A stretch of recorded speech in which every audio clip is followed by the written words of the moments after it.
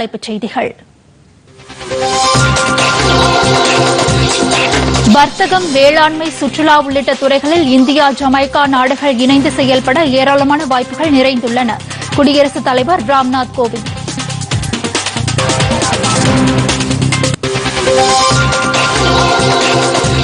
நாட்டின் கலாச்சாரத்தையும் பண்பாடுகளையும் மாணவர்கள் போற்றி பாதுகாக்க வேண்டும். குடியரசு துணைத் தலைவர் வெங்கையா நாயுடு.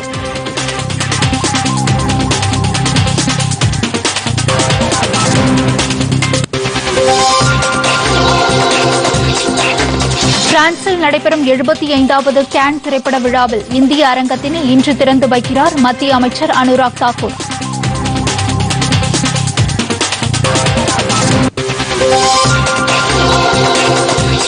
ஹெலிகாப்டரில் இருந்து கடலில் உள்ள இலக்குகளை துல்லியமாக தாக்கி அழிக்கும் ஏவுகணை சோதனை வெற்றி. டிஆர்டிஓ அறிவிப்பு.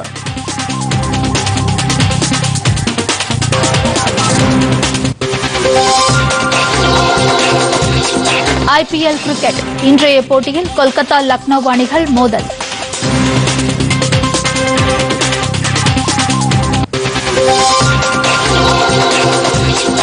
தமிழகம் புதுவை காரைக்காலில் அநேக இடங்களில் இன்று இடி மின்னலுடன் கூடிய மிதமான மழை பெய்ய வாய்ப்பு. சென்னை வானிலை ஆய்வு மையம் தகவல்.